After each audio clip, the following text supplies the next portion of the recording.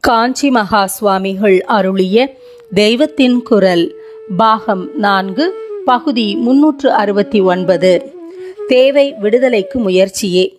சுதந்திர ஆத்மாவுக்கு எப்படி சம்சார பந்தம் ஏற்பட்டது என்று எந்த சித்தாந்தத்திலும் திருப்திகரமாக சொல்லவில்லை என்பதை நினைத்து வருத்தப்பட வேண்டாம்.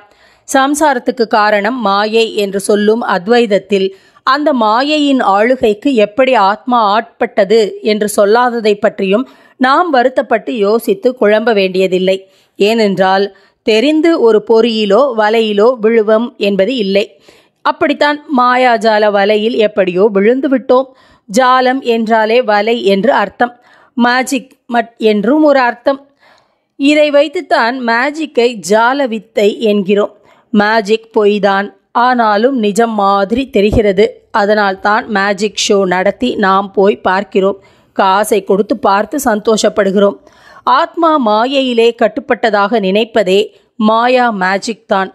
அது நிஜமல்ல. ஆத்மா கட்டுப்படவே முடியாது என்று எத்தனை சொன்னாலும் பிரத்யட்சமாக இத்தனை அவஸ்தைப்படுகிறோமே. கொஞ்ச நேரம் பார்க்கிற மேஜிக் சந்தோஷம் தருகிறதென்றால் பல வாழ்க்கைகளாக அனுபவித்து வரும் இந்த மேஜிக் துக்கமே தருகிறது.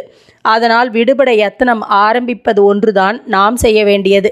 பொறியில் விழுந்தால் எப்படி விழுந்தோம் என்ற ஆராய்ச்சி செய்து கொண்டிருப்போம். எவ்வளவு சீக்கிரம் தப்புவோம் எந்த விதத்தில் தப்புவோம் என்றுதானே முயற்சி செய்வோம்.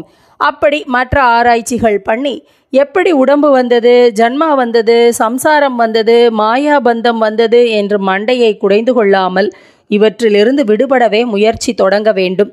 இந்த கேள்விக்கெல்லாம் ஆன்சர் கண்டே பிடித்து விடுகிறோம் என்றாலும் அதனால் என்ன பிரயோஜனம்?